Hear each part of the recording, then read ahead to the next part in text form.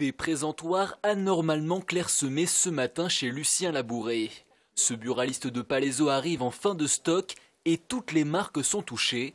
Alors quand un client se présente, Parfois, effectivement, il tourne les talons, il essaye de, voir dans un autre établissement s'il ne peut pas retrouver son produit.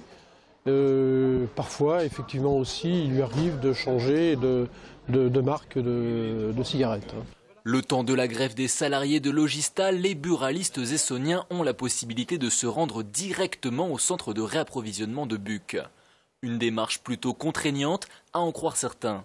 Ça nous embête parce qu'il faut qu'on vienne jusqu'au 78. Ça demande à mon père et à moi de venir alors que nous devons travailler. Et il y a pas mal de monde sur la route et en plus de ça, ça ouvre beaucoup plus tard que dans l'autre entrepôt. Une trentaine de salariés sur 110 sont actuellement en grève chez Logista en Seine-et-Marne. S'ils laissent passer les non-grévistes, l'entrée reste interdite aux buralistes et aux camions. Depuis vendredi qu'on bloque, il n'y a pas d'avancée. La direction ne veut pas négocier tant qu'on ne débloque pas le site. Et nous, il est hors de question qu'on débloque. Bah, nous, ce qu'on demande, c'est de- une augmentation un peu plus généreuse que ce qu'ils nous présentent. Nous- ils nous proposent 35 euros, on demande 60. Donc c'est quand même pas énorme. La réunion de ce matin entre la direction et les représentants des salariés n'a pas donné grand-chose selon la CGT. Le dépôt reste bloqué jusqu'à ce qu'un compromis soit trouvé.